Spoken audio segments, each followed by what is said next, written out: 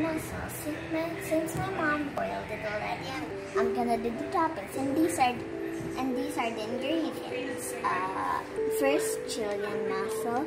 Second, firstly, Chilean mussels. My mom boiled it already.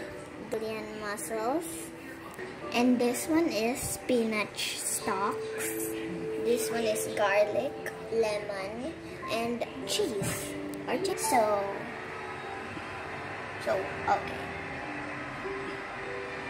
And so first, I'm gonna put this uh, spinach stalk here.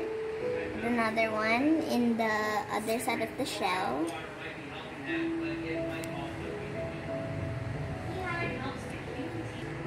We put spinach stalks every in every baked mussel to make it crunchy and healthy.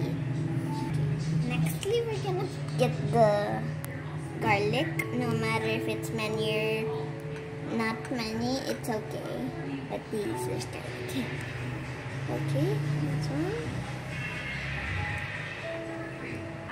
And lastly, the cheese. Says yummy. ooh. These are cheddar cheese and you see right now I'm sprinkling them up. I'm gonna put it in the human. Maybe there's too many. Okay, now it's ready. And the baked mussels were baked by my mom in one minute. If you want to try this out, why not? And I'm gonna eat one. Before eating, I'm just gonna squeeze a lemon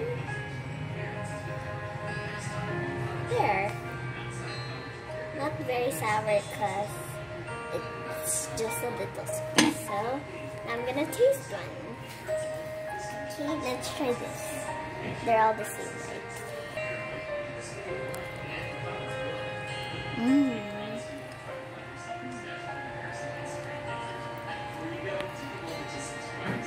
Nice. I want to eat this for dry. It's super yummy. Enjoy! Today we're gonna eat this with rice and shallot. Later for lunch. Goodbye. Love you.